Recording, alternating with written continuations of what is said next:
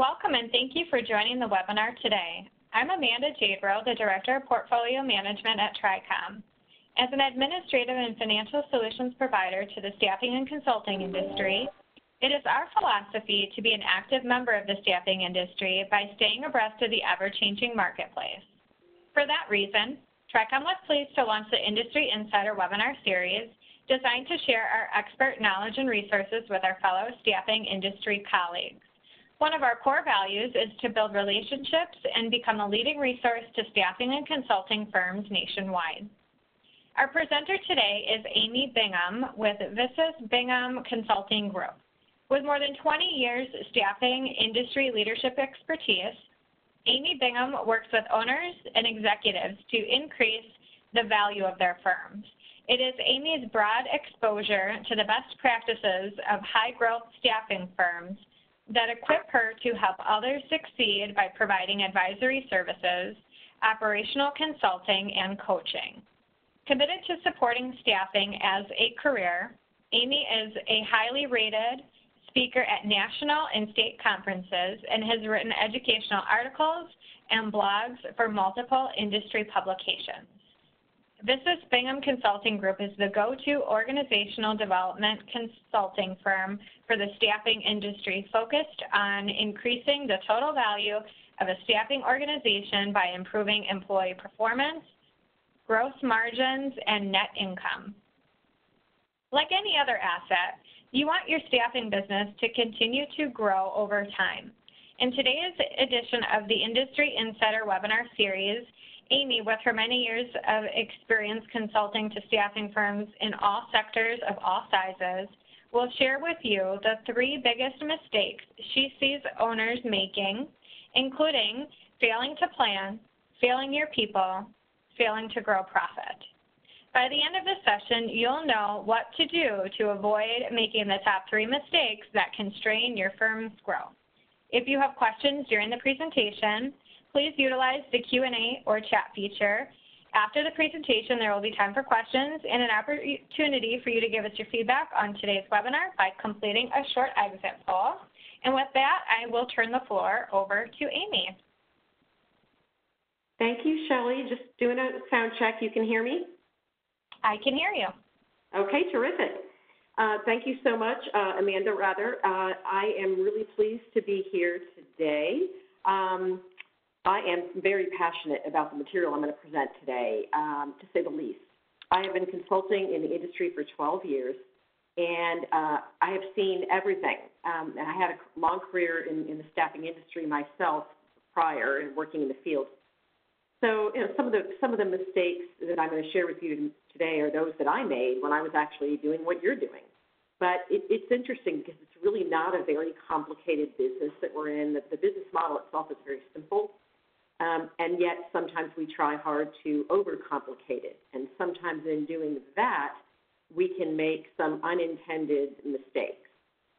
So after many years consulting, what I did was, with, along with my partner, Tom Kosnick of Visus Group, was put together these um, this, these mistakes and, and kind of put our heads around, okay, what are the most common things we see and how do we address them? So I'm going to give you as much information as I can in this short hour, and uh, I'm certainly welcome anybody to contact me after the webinar.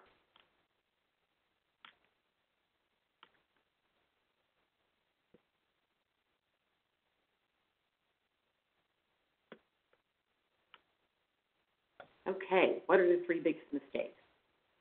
Uh, no growth plan, a very, very commonly seen one. It's it's interesting. We many of us enter into this business perhaps because we were a recruiter, we were a salesperson, and we did a good job, and we maybe we worked for another firm, and we said, "Gosh, I can do this on my own." And we jumped into our own business, and before we know it, we have a nice little business going and we just essentially fill what comes to us.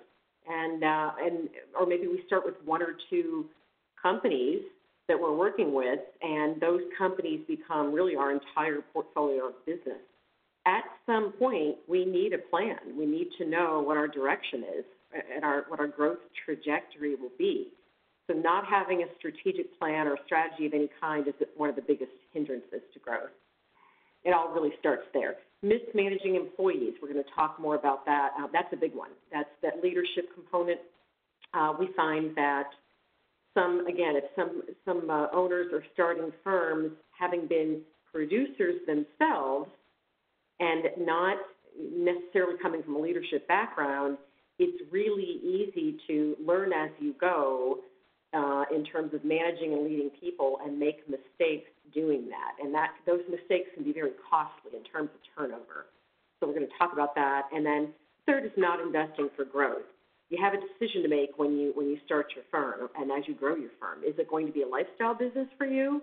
Or is it going to be a, an asset that you grow and with the intention of being able to sell one day? And, and uh, either way is fine but certainly um, it's a strategic decision you're going to make and not investing for growth when you have decided that your business is in fact an asset and is not just a lifestyle business for you as it was perhaps in the early days uh, not investing is, is really going to hamper your growth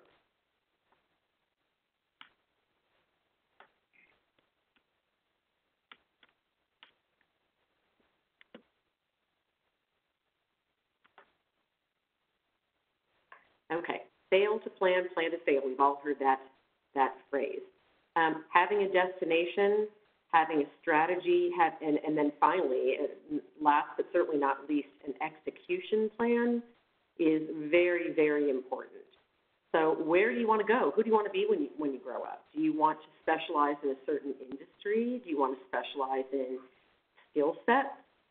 Do you want to be local, own the local market? Do you want to be a regional player? Do you want to grow nationally? What is your strategy? And then what are the two or three things that you're going to do this year to make that happen? For financial management, when the business is running you is a very common problem. Um, not having what gets you there, by the way, when the business is running you is not having really any pricing discipline. I can't tell you how many firms I encounter that just find a, a standard markup across all skills. They have a, a markup, everybody's trained to, to use that markup. It really isn't well thought out from a what is this markup over pay rate going to get me in terms of gross profit. Uh, there's just real no no real discipline around around the pricing strategy. Not understanding the financials of the business and how you set up a financial model and run your business in accordance with best practices for staffing firms uh, in terms of your financial model is is is uh, is also going to get you into a situation where you feel like you're just operating day to day, um, but you don't really have any visibility into your business. So once again, the business is running you. Poor cash flow also hinders people's ability, owners' ability to run run the business. So you have to make sure that your your balance sheet is good, you're in good shape financially, and that takes some, some time and effort and some expertise from those who live in that world. Again, if you're a recruiter uh, or a salesperson, you probably that's probably not your forte. Uh, the back office stuff is is um, is is gonna is if you don't understand it, and you don't get some expertise, can really trip you up. Core visibility to the business you have to have, and I see this a lot, you have to have an applicant tracking system and a customer relationship management system that enables you visibility into what's happening with your candidate and what's happening with your client. And preferably, your CRM should also have some Salesforce automation capability where you can look at everything that happens and manage everything that happens before a client is onboarded. So in the prospecting phase, managing your pipeline, uh, without that capability, you or those who work for you who are responsible for selling are out there doing whatever they're doing and you can't see your pipeline. You have no forecast ability. You really can't measure individual production very well at all, or, and you certainly can't coach your team. Same thing with the ATS with candidates if you can't search your ATS for, for candidates sitting in your database ready to go to work, uh, because the ATS is, is not set up properly or it's the wrong ATS, or you've had low adoption, no one is using the ATS the way they need to, Um, that's going to give you uh, poor visibility to the business, and that will trip you up very quickly. And then you have to kind of rewind all the way back to uh, opening a staffing firm 101 and, and getting your technology right. So back office, uh, as I said before, usually not uh, the strengths of recruiters and salespeople who are running staffing firms. So get some help with back office. Uh, and certainly TRICOM Funding stands ready and able to help you with that, the host of our webinar today. Mismanaging employees. This one, as I said, is probably, if you can't hire, uh, train, and develop talent in your organization, um, it, it, that's really where the rubber meets the road. It's still, even with all the technology in the world that can automate on the front end, sourcing, using artificial uh, intelligence, automate on the back end, candidate engagement, it still is a people business, and people run your staffing operation. So the, the strength of your people will dictate the strength of your of your business. Therefore, as a leader, it is incumbent upon you to understand how to hire right, manage people correctly, develop them professionally, uh, encourage them. It's a production business. It's a tough business. How do we keep them motivated in what can be a very, very tough business as they strive to achieve results every day? So, one of the biggest trip ups is when you, the owner, are working in the business. You're still very much in the tre- in the trenches. When we see owners carrying a book of business themselves, usually the firm is pretty small. Um, it's very, very difficult to do that and very difficult to break out of that if you can't release your book of business to others who work for you and step back and drive drive the strategy of the firm. So limited community involvement is another one where a firm is in a community but hasn't really the owner really hasn't taken advantage of the opportunity to be the rainmaker of the firm. The only way to do that is to get heavily involved in your community. So that's very strategic networking. Uh, where I see owners with very successful businesses, they've been very involved in their community. So lack of community involvement or haphazard community involvement, um, which also, by the way, not only does that help the owner bring business to the firm, but it helps entrench the brand in the community.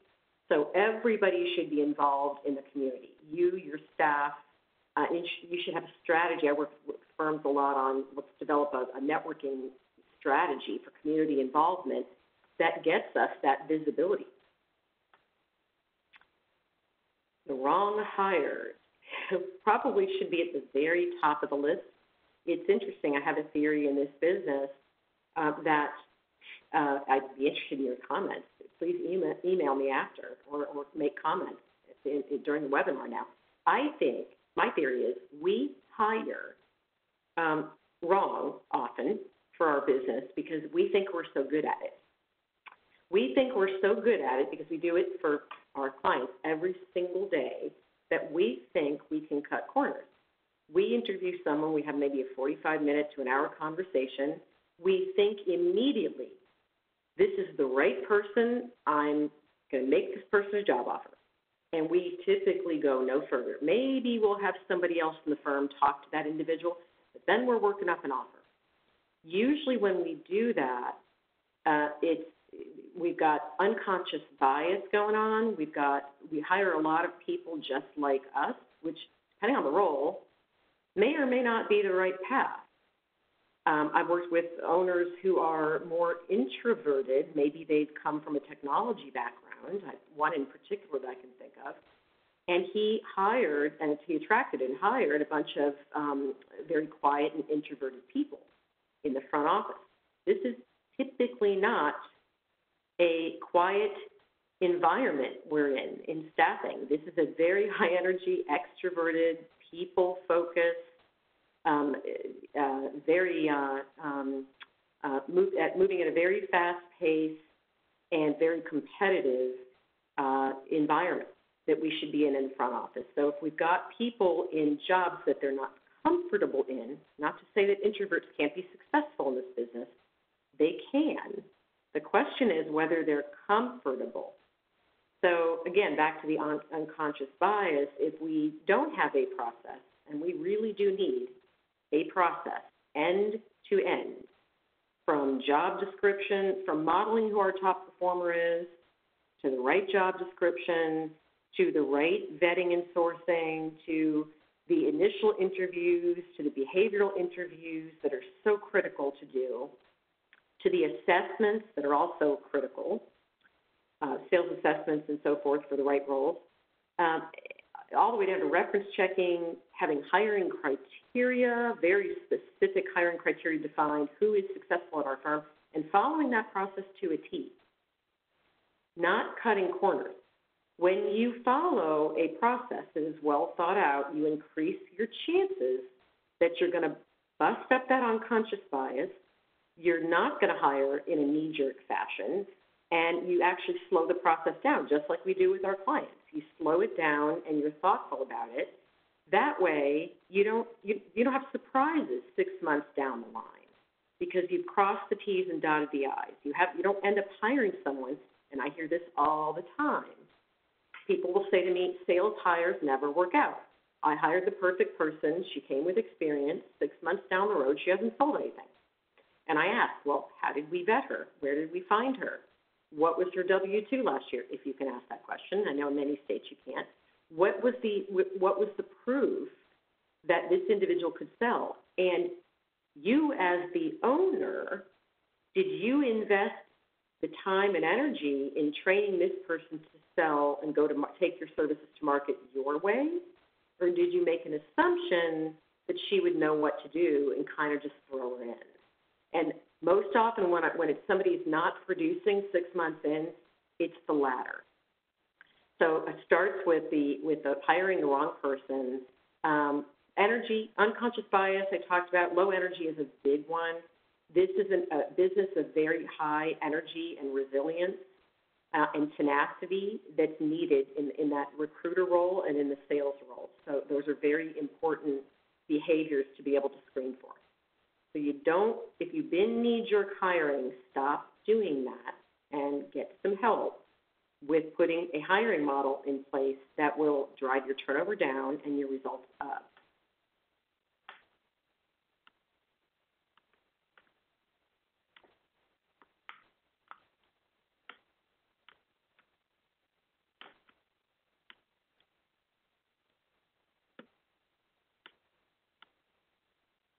Okay. Sorry, folks, I'm having a difficulty here advancing these slides. Sorry about the pauses here. Ineffective leadership, the second uh, critical um, problem. Having disengaged employees is something I see. I can feel it when I walk into an office. Um, the first time I walk in, I can feel whether there's energy and engagement or there's low energy and disengagement. I, I don't see smiling faces. I know. Hmm okay, someone has called me and said, help me with the problem with my business, it's not growing, and I come to find out when I visit that the employees are disengaged.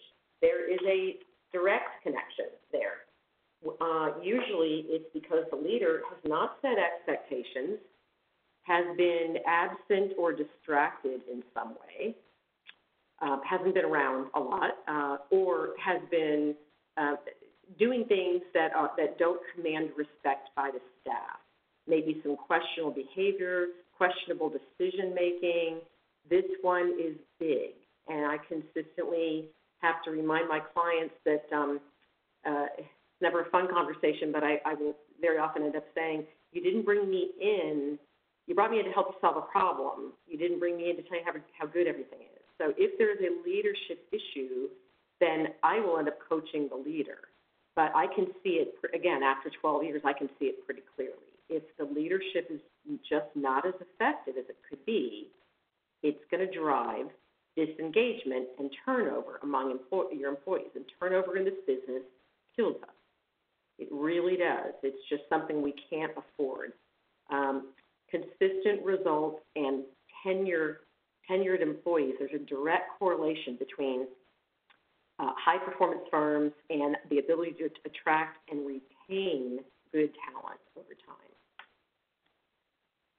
Okay, then we've got the culture of nice, as I call it. This is the, the office that, or the firm that, uh, where the owner and leadership team is just so nice. They're just so painfully nice. Everybody's nice to each other. No one wants to ruffle any feathers of anybody else. And so communication is a bit constrained in these firms. But more importantly, what usually is the case is there may, the senior leader may or may not be visible, may be very involved in the business, but isn't managing to metrics or perhaps has set metrics, but they just aren't um, held accountable. The team is not held accountable because sometimes those uh, accountability conversations aren't so fun. They can be high conflict. They, it's hard to confront people when they're not performing, but it's necessary. It's necessary to go over the numbers every single week and have those one-on-ones.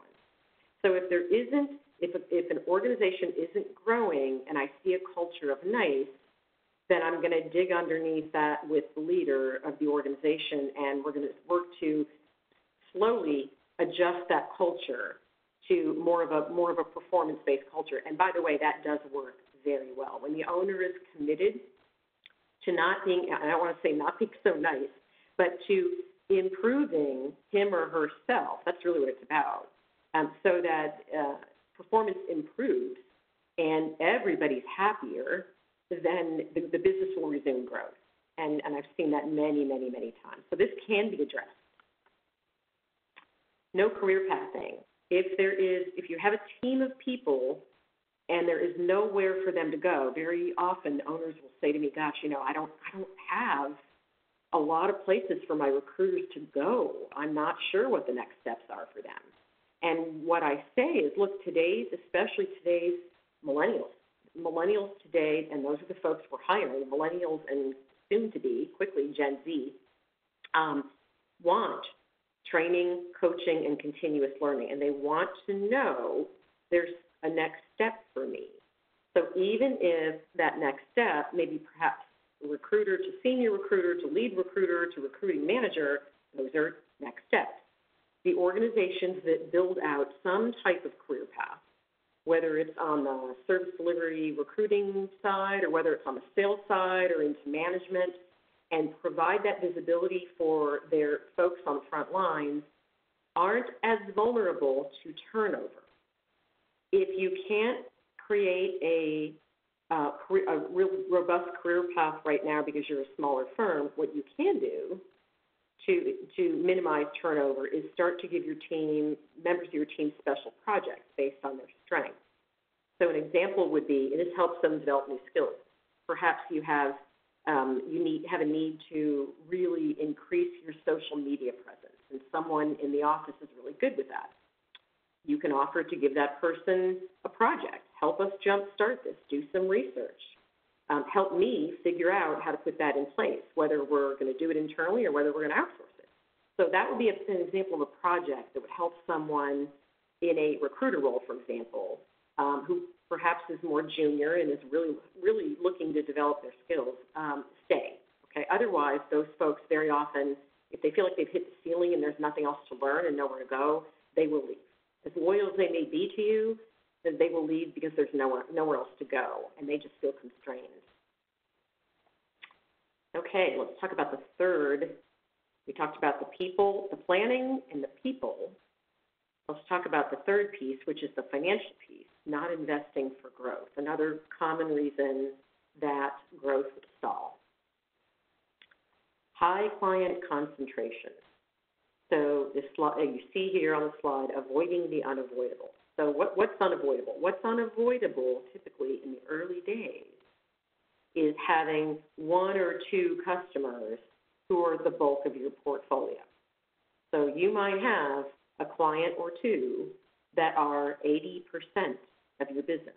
I encountered a firm not too long ago uh, whose ratio is 95% of their business is tied up in one customer and 5% in other.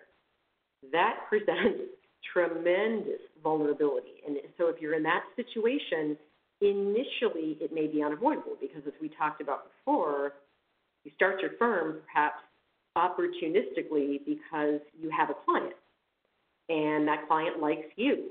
And you know you can do this alone and perhaps there's no non-compete and you can take that customer with you. Or you just hang your shingle outside an office and you start selling and you develop a couple of good client relationships and you start to service the heck out of them and before you know it you have a nice little business with these clients so it happens to most firms during during the early days your challenge is to ensure that you grow and balance that portfolio because you don't want all your eggs in one basket, so to speak.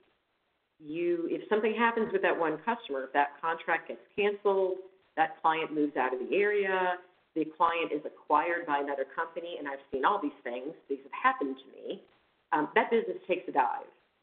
So managing beyond client concentration, getting to the point where no more than 15% of your portfolio is one customer is, is, is a strategic uh, initiative that is essential to growth. And the, the companies that call me, knowing they're in this situation, I mean, that's what we do. We put together, and it is indeed a sales plan. It's a, we start with, okay, where, who do we want to be when we grow up? And then it becomes, what is our strategy for balancing this portfolio? We have to go win a bunch of new accounts, is what we have to do. So managing beyond client concentration is critical. The other thing that, that we always recommend is that you do an account profitability analysis. It is possible, uh, depending on the types of the, the sector that you're in and what your pricing strategy or uh, contract, your contractual pricing agreement is with those customers, it, it's possible you may not even be profitable with that one customer. So carving each one, each of those accounts out and saying, is this business still worth doing? Maybe in the early days it was, but maybe now is taking up all of my recruiter's time. Um, all of our energy is going into servicing this one account, and frankly, it's just not that profitable or God forbid, unprofitable. I've seen that before, mostly in the light industrial environment. Um, and we're spending all this time and all this money. Time is money and resources, and so you factor all that in. You look at the profitability of this account or these couple of accounts, and you decide, you make strategic decisions. Do I need to walk away? If the answer is no, then it's no. But you certainly do need to diversify, and that's a sales strategy. So that's that's what that's going to be about. No new business focus. Speaking of sales strategy, this one is huge. All of these are huge. But when I see a firm that isn't growing, I'd say eight times out of 10, either there are salespeople who are basically uh, have become over reliant on their existing book of business and aren't hunting new business, or there aren't salespeople, so nobody is hunting. Um, usually, what I'll hear when I ask them questions, why isn't anybody selling? What, what's the situation? The owner will say salespeople never seem to work out. And when I ask questions about why that is, um, usually, and I talked about this earlier, it's usually that we hired the wrong person to begin with, or maybe we hired the right person and mismanaged that person. As in, and what's most common is we throw this person in because we hired somebody experienced and we, we expected that he or she knew what to do.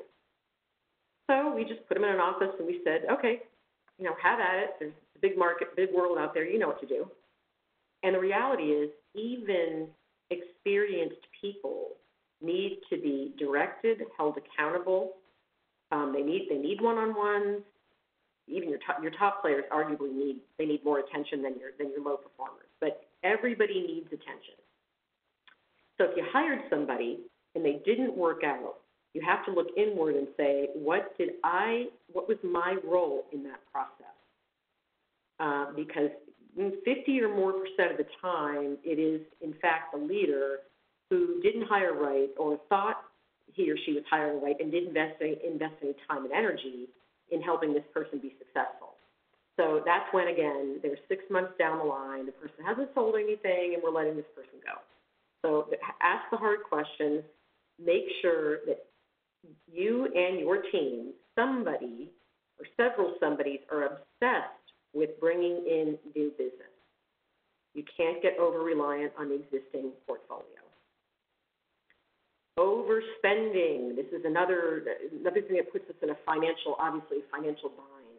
Um, there are several financial models that my partner Tom Kosnick has. This is one of his areas of expertise. Um, I've got a couple of them in here, but he calls it the checkbook mentality, and it's really looking at the business as though whatever it is that's on the bottom line is there to be spent. So uh, it, while it's tempting to do that, I, I run a business too. I understand um, what you can do with the bottom bottom line dollars, but you, if you don't reinvest in your business, uh, you can pr- pretty much be guaranteed it's not going to grow. So measuring the right the right return on uh, technologies perhaps you've invested in, is your ATS working for you, is your CRM working for you? Did you hire a lead generation company? Are you buying the right, are you investing in the right job boards? Boy, that's a big one now. Um, are the investments you've made paying off? And then, what are you doing with that extra cash? Because if it's not being used to hire new people um, and, and fuel the organization for growth with, with new people, salespeople and recruiters, or perhaps a manager if needed, here or there, then pretty, pretty much uh, can guarantee yourself that you're going to have a lifestyle business. So that's why it's so important to know what the numbers are and having that paradigm shift. So if you don't invest in the business, again, it's you know the question of whether you're really managing your assets or this is just a business sustaining your lifestyle, and in that case, go buy the new boat. Um, the biggest line item on the P&L is the people. After the direct cost associated with paying the uh, contract employees, it's your internal team. And it's also the most critical that's going to drive your growth. So again, it's usually an investment in people that you're going to make when the business demands it. And you have to know when the business demands it. So what do we do to avoid those biggest mistakes? The planning model that you're seeing here you can download these slides and you can create your own or use this. But this is really can be this simple. What are your values, your purpose, and your mission? You have to look externally. What's the the customer doing? What is your competition doing? What are the industry trends? What's growing in your in the market you serve? What what industries? What are the top jobs in demand? What does your firm do well in terms of what you recruit best? So figure out what's going on externally um, and manage and take advantage of those opportunities, and then do the internal analysis over on the right. Look at your resources. Look at get be honest about your capabilities and your core competencies, and what what again what your firm is good at and what it's not so good at. And every year you should take a look at this, review and change it, figure out if it's still viable, if the, the vision and mission that you had when you opened your firm is in fact still your direction, and then determine, okay, uh, based on what it is we say we're going to be when we grow up, what do we have to do? What are the goals and objectives that we have to accomplish? And then you're going to have action items, that you're, things you're going to have to get done, tasks in each of those buckets you see below marketing, op, operations, sales, recruiting, IT, HR, and finance. Those are the buckets that we use. So there'll probably be something, if not several somethings, in those buckets, and from there you have to figure out, okay, which one, what, where's the lowest hanging fruit with the highest impact for 2019? So if you've not done this this exercise, it is not too late. It's only January 24th. So I recommend you do that uh, very quickly and figure out what are the two or three things you want to get done this year, and then begin to attack them with an execution strategy. Financial benchmarks as a percent of revenue. Um, cost of sales is usually what we see that in, in a 70 to 75 percent of revenue range. Gross profits for professional staffing, not light industrial, professional, 25 to 30 percent, what you're aiming for. 15 percent of your revenue is in operating overhead, and you can see that some variations may be required based on uh, firm strategy and the vertical they're in. But anywhere from five to six percent of your revenue should be devoted to the sales organization, and that is uh, not just your sales team salaries, the benefits, their commissions, what it takes to run their desk, their licenses, all in. This is all in. What is your sales organization costing you? It should be five to six percent of your revenue, somewhere in that range, and then so on and so forth. You can see four to five percent should be a recruiting expense, one to two percent of revenue in management, and then two to four percent in general and administrative expenses. And down at the bottom, you see corporate overhead, uh, uh, pre-tax profit, overhead being in the four to five percent of revenue range, pre-tax profit in the five to eleven percent range. This is a healthy business. So here's some good benchmarks for you to uh, look at and compare your business to these. If you can't see your financials to be able to peel this back and, and, and do this comparison, then that is your first task. Your first task is to, is to set your financials up in accordance with um, generally accepted principles for staffing firms, and that's to set up your profit and loss statement the way that you know enables you to, to measure this stuff.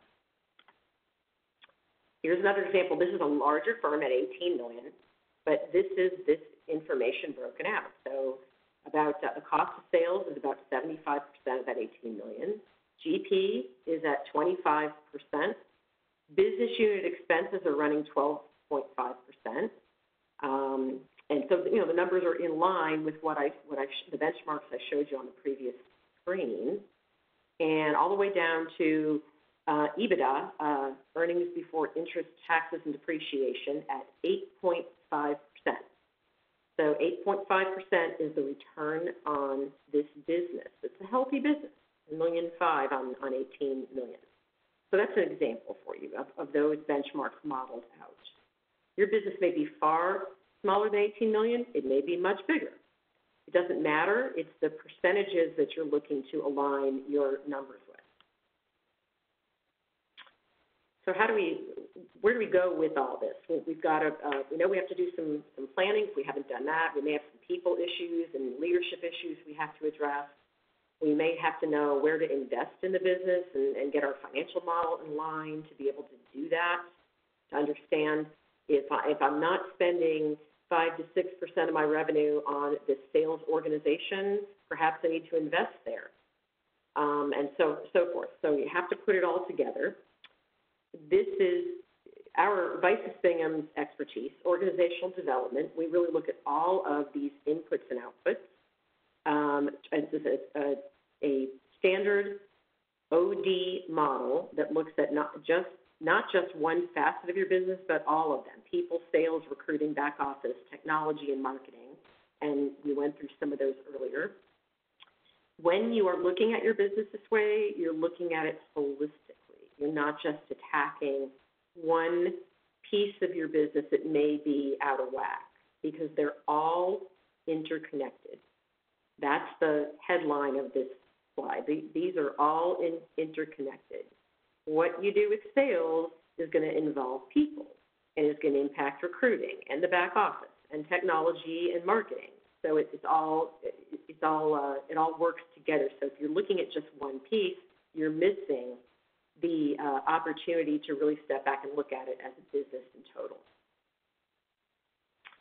This is a roadmap, kind of bringing it all together the roadmap to avoiding the three biggest mistakes, and we highlighted just the key points here under people, sales, recruiting, technology, back office, and marketing um, in that OD model that I referenced previously. And you can see that people, you see the right hires, right compensation and training and development, driving a high performance culture, career path succession planning. So this is your dashboard, if you will if you print this dashboard and you compare your organization to all of these items that are checked off here, and you give yourself an honest assessment where are the gaps? How is your business performing, and where are the gaps? And that is what you want to do with this information. Um, because we don't want you to make those three biggest mistakes. And if you already have, that's fine, you can fix them. That's, that's the good news. You can, you can fix the mistakes by stepping back and taking a look at the business in total. At this time, I would like to open it up for questions. Uh, Amanda, do we have any questions that people have chatted? Um, at this time, um, go ahead and submit any questions that you have. You can use the chat or the Q&A feature, and I'll go ahead and read them off for you. Um, and you know, while we're waiting, Amy, why don't you talk a little bit about some of some of the common questions when you sit down with an owner um, for the first time? What are some of the co the common questions that they're asking you, um, and things that you might be able to address for the the audience today? Uh, good, you know, good, uh, good question, Amanda. And I think hiring the right people is something I get a lot of questions around. Um, people will often lament my turnover is too high, or or I, my retention rate's very high, but my team doesn't seem motivated. Um, maybe they've lost their energy, they've lost their passion for the business. So it's usually it comes back to some either hiring or developing or engaging talent. Not surprisingly, what I tell them is, um, in my experience, my own personal experience and my experience consulting, if 80% of your time, 75 to 80% of your time isn't spent on people issues, I would be surprised. And I don't even mean the contract staffing piece. I mean internal staffing issues. It's that important. So you, I get a lot of questions around hiring. How do I put together a hiring model? Where do I start? And uh, though, like I said earlier, it feels like we should know how to do this, the reality is we don't do it very well with ourselves, which is why we have, we go to, I've always found this funny that we, we go to outside uh, search firms to hire our own people when we are in the search and staffing business ourselves. Always been comical to me. And, and certainly there's a, there's a role for using those resources at times. But getting back to the, the question, it's usually you're, you're going to start with ideal hiring criteria. Who is successful at our firm, and what is it that these folks do? What's in their DNA? So, do they have a strong sales personality? Um, do they have, uh, are they competitive?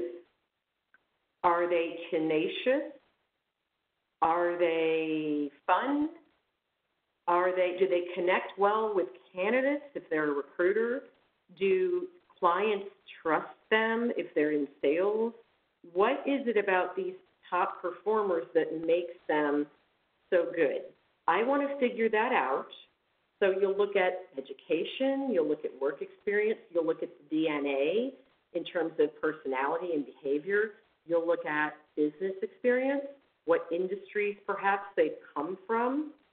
Uh, for example, retail and hospitality are good good uh, poaching grounds for us when we're looking to hire recruiters. Um, we we work very hard, and and uh, so do they. And it's a people business, and so is ours. So they learn to be very very service oriented and um, and, and be all about the customer. So uh, rental car agencies is another good poaching ground. So for hiring entry-level recruiters, at some firms will even go, they'll go directly to college campuses and pull uh, uh, graduates right out of school and sit them down at the chair. The one thing you need to think about there, if you do that, is you have to have a very, very, very robust training system in place. Because people, college graduates typically come out with no knowledge or very limited knowledge of the corporate world. So in, that's tripped some owners up where they don't even realize necessarily or know how to craft communication, and how to craft an email to a customer. So some of you are undoubtedly um, nodding and smiling right now because you've been burned that way. You, you have realized too late that someone you've hired uh, doesn't have these basic skills. So it doesn't mean it's a bad thing, it means that it needs to be addressed. The best way for you to start is to model that criteria. Does someone really need two to four years of business experience to survive in your firm? Do they need more? Do they need to have staffing industry background? Some of my owners will say straight up, they, I cannot train. I cannot, I don't have a robust training system yet. I'm not that big. I can't afford to hire somebody green. I have to have somebody who's had at least a little bit of experience. So figure out what that is, what drives success, get that criteria down, and don't depart from it.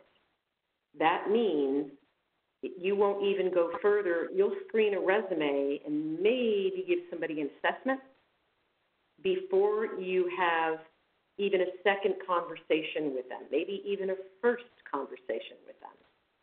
If there's an education requirement, for example, if you know that only people with certain levels of education are successful in your in your firm and someone doesn't have those credentials, then perhaps you shouldn't be talking to that person. So defining that criteria right from the outset and sticking to it is probably one of the most important things you can do. So you start there, and then you build in assessments, behavioral interview screens, reference, the reference checking, an entire process. Um, how many interviews are, is this person going to do with us? How many people are they going to talk to? Are they going to come in and job shadow? Are they going to do a working interview? Uh, what works best for us? And then you define it all, you get it down on paper, and you don't depart from that system. So I hope that answers that question. Perfect. Okay, so um, I do have some um, questions uh, about the planning model and where we can uh, get a copy of that strategic planning visual and the benchmark model that you have. Amy, is it okay to have um, the participants reach out to you directly to get copies of any materials that they'd like to see from today's session? Absolutely, and I'd be happy to talk with them if they want to give me a call. So um, uh, you, I think, yeah, there you go. I was going to say, there has to be a slide with my contact information. If not, shame on me. So yes, please email me, and um, and I'm happy to help you with that. Perfect. Are there any takeaways that, that people should um, keep in mind as they're looking at the strategic planning model and this benchmark model as they try to, to introduce that into their um, corporate structure? Yes, actually, do not do this in a vacuum. Do not do this exercise by yourself. Even if you are a small firm and you're the owner and you don't have a management team, get someone you trust from outside to help you with this. In fact, that can be a very good thing. Fresh set of eyes from outside the industry to at least look at your plan after you put it together. If you have a team, involve the team in the who do we want to be when we grow up conversation. While they don't necessarily need to be involved in all of it, I would start with a strategy session with your team and say, look, this is what we're going to do. We're going to we're going to put together a strategy um, we're going to accelerate our growth, and we're all going to be committed to this, and I'm excited about it, and I'm not going to do it in a vacuum. I want to hear from all of you. I want, I want this to be a collective effort, because if you do that, people will own what they help build. If you do the strategy in a vacuum and then you shove it down their throats, it's very much less likely that you're going to get you're going to get some uh, cooperation with it. That's a good point. You get some buy-in from them, and, and they're more likely to participate in um, helping you achieve the goals that you're setting for the company when they've had some um, say in you, you know what those uh, planning steps are going to be. Because ultimately, they're the ones that are going to end up having to execute on a lot of those things. Is that correct?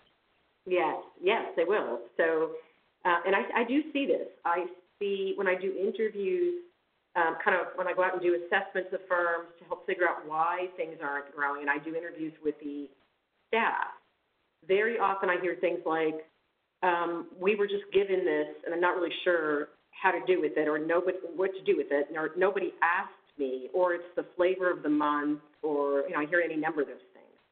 And this per- usually people aren't being negative; they're just telling me when I ask questions like, "What do you think is constraining growth?" Um, oftentimes the uh, the employee will say, "We're just not involved in any of the decisions." And being out here on the front lines, I think it would be helpful if we were asked. So uh, something as simple as that. Involve your team. Great. So again, we um, have put up Amy's contact information. If you have any questions that you'd like to take on a one-on-one -on -one offline conversation, please feel, to reach, uh, feel free to reach out to Amy by phone or email to get that conversation started. I've also gone ahead and put up a poll. Uh, please do give us your feedback on the session and any ideas that you may have on future topics that um, impact you or your business. We'd um, love to, to try and um, find a speaker that addresses any future needs that you might see your business um, encountering in 2019.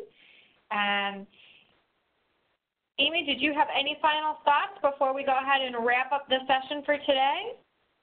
No, other than to say I hope everybody got value from this session. I know we'll have some people listening to it later, uh, and I'm excited to help. If I, I stand ready to take phone calls, emails, and you can access me any number of ways. LinkedIn, please link in with me. Uh, my Twitter is up on the uh, slide, and I just want uh, engagement. I'd love to hear how people are doing. Sounds great. So yes, we will have a recording of this session on our website at tricom.com. It's under the um, resources tab in the industry insider webinars section. Um, there you will find a copy of this uh, particular recording of this particular session as well as uh, past sessions. Feel free to um, share that or visit um, our website again for additional content. Um, and thank you so much for um, coming out today and Amy for sharing all of your information on these mistakes that um, are common constraints to um, staffing firms' growth. I appreciate your um, insight in this session. Uh, and we'll end here with another slide that has contact information for me if you need to reach me for anything. And again, thanks so much for joining us today. Have a great afternoon.